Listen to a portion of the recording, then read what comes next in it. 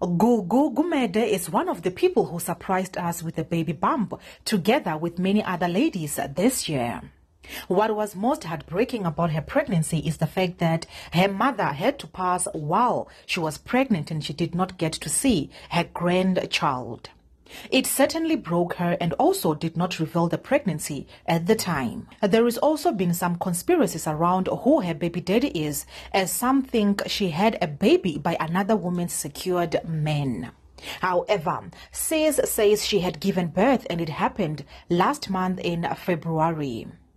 2302-2022. Exactly a month ago, my life became the greatest testimony. My daughter, may the heavens pave a way for your greatness and may they always go to war on your behalf. You are so dearly loved. Uh, come to me correct, y'all. I'm someone's mother. She said, announcing that she gave birth. Congratulations, Gugu. You are going to be a great mother. Now that you have given birth and showed us your child's fingers, can you now show us the father of the baby?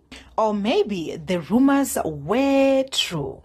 Now that's it for now, Tea Squad. Do leave your comments down below. I love you.